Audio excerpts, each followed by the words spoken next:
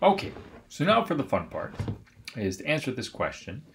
What is going to be the impact of this crisis on unemployment? Now, we have a pretty good sense, uh, just reading the news, that the unemployment rate is obviously going to increase, uh, probably quite a bit as a result of this. So just, just to give you a sense, uh, before we get into the details of the model, in Wisconsin, the unemployment rate in Wisconsin before this all started was right around 3.4%. So if we kind of go back, this is a good chance to review the stuff that we've learned so far. We have around 3 million people that are employed or unemployed in Wisconsin. So the size of our labor force, I shouldn't say this is employment here, uh, our labor force in Wisconsin is about 3 million people. So we have roughly a little bit 5.2 million, I think 5.3 or 4 million people in Wisconsin. Um, so about 3 million in the labor force.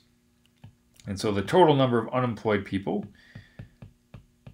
as of uh, the beginning of March was about 101,000 people. So you make that work out, that's about 3.4% unemployment rate.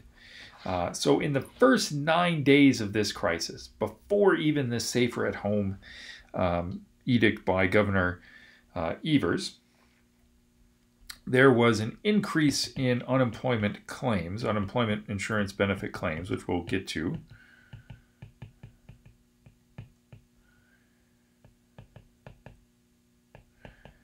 Of 100,000 and maybe a little bit more in nine days. Right? So just immediately at the very beginning of this crisis, we've effectively doubled the number of people that are unemployed. So now, as a result of this, just uh, nothing else happens. The unemployment rate is already somewhere around 6.3%, I think. Uh, maybe a little bit more than that with the extra 100,000 people. So we, we've about doubled unemployment in nine days, and that's only going to continue to increase. So, what in the world explains that increase in unemployment? Well, our model set up well to, to help us understand that. So, uh, what are the effects of this uh, COVID 19 uh, disaster here? Uh, so, I think there's a couple things that are going to happen. So, one, we know in terms of labor demand, the marginal product of labor is obviously going to go way down. Now, why is that? Well, workers haven't become less productive. So if I worked at a restaurant before, I'm not any less productive than I was uh, prior to this. Um, but what's happened is that demand for goods and services has gone way down. Remember, that's one of the things that shifts the labor demand curve. Demand decreases, labor demand is going to uh, go down.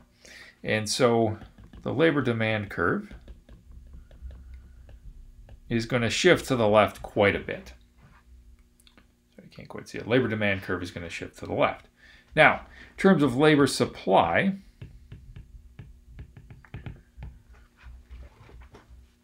another impact is that you could think of, in some sense, uh, that labor supply may decrease in the sense that people might be sick or may be unwilling to participate in the labor market because they don't want to get sick. Uh, so perhaps I, I used to drive for Uber or I work for Shipt as a shopper. Uh, at the current wage, I may not be willing to supply my labor because I think it's going to increase my risk of catching this disease. Uh, so labor supply is also likely to decrease. At least a little bit. So this isn't going to be larger than the decrease in demand, but we can expect to see some decrease in labor supply. People aren't quite willing uh, as willing as before to work uh, because they're worried about the risk of getting ill. So if we draw this out, in our labor market diagrams. We've got labor on the horizontal axis, the wage on the vertical axis. And where was our economy before this all started? I call this labor supply 1 and labor demand 1, if I can draw this right. So one thing that was definitely true, the unemployment rate was 3.5%. So that's below the natural rate of unemployment. So that implies that pretty much anybody that wants to work or wanted to work was working. We're pretty much maxed out at the potential population here in our labor markets. We don't really have any structural unemployment, or we didn't uh, at this point, very little. So here's the equilibrium wage when we all started, the equilibrium level of employment, W star 1 and L star 1. Now, what's going to happen as a result of this crisis is we're going to have a big decrease in labor demand.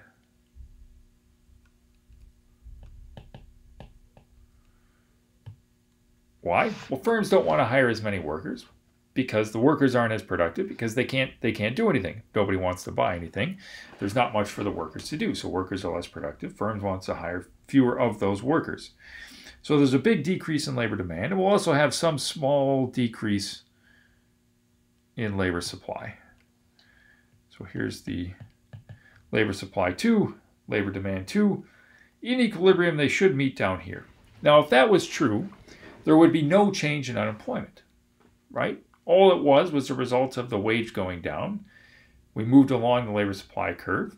At this point here, let's call that point A, anybody that wants to work is working. And so there was no change in the unemployment rate. It would stay uh, roughly around 3.5%, but labor force participation would go way down. Now, if we keep our downwardly rigid wage assumption, which is a pretty good one, our new equilibrium point is going to be where that wage meets the labor demand curve. And so we're going to see a very large decrease in employment. As a result of this, because of the decrease in labor demand and the downwardly rigid wage. So in terms of unemployment, if we compare the difference in labor supply and labor demand, the quantity of labor supplied, quantity of labor demanded, we also are going to have a very large increase in unemployment. So we went from having really no extra unemployment to all of a sudden having a very large increase in the structural unemployment, or potentially what we call cyclical unemployment, as the unemployment rate is going to go well above uh, the natural rate. And so unemployment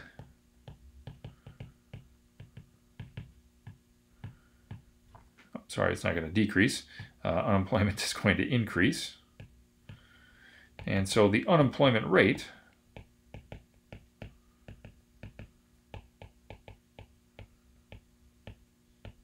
is going to increase a lot. So I have no idea where it's going to go, but I wouldn't be surprised at all if in the next couple weeks we learn the unemployment rate is, is gone above 10%. Uh, and the only other time it's gone really significantly above 10% uh, there were two recessions, uh, one in the 80s and one most recently in 2007, 2009, where the unemployment rate got up to 10%. That was the worst in the Great Recession. The unemployment rate hit 10%. Uh, the last time it was higher than that, so if we get up into the 15% range, 20% range, that's getting closer to the period of time where we had the Great Recession. So, depending on how big this shift in labor demand is, we could be talking about a labor market that we haven't seen since the 1930s and the Great Depression. And so this is really uncharted territory in our economy. And so it'll be interesting to see how all of this is going to play out. So that's a, a simple analysis of how this uh, pandemic is going to affect the U.S. labor market. As we expected, unemployment rate is going to increase, and now we have a really solid reason for what the factors are causing that increase in the unemployment rate. So what I'd like you to do is to this this question's a little bit longer is to go back and look at the experience of our economy from 2007 until 2020, where the unemployment rate uh, hit its lowest point at about uh, 3.4%. And we're going to break it into two different chunks and try to understand using our model what could cause these different changes in, in the labor market. So give that question a try. Uh, and then come back on Canvas and I'll, I'll post a solution uh, to that exercise and you can see how well you did. So that's it for Chapter 9. And uh, there will be a homework assignment associated with Chapter 9. So go through the videos, do the questions on the learning objective, and as you go through those, you can have the homework going along with it. Uh, and hopefully you'll be well prepared to complete that homework.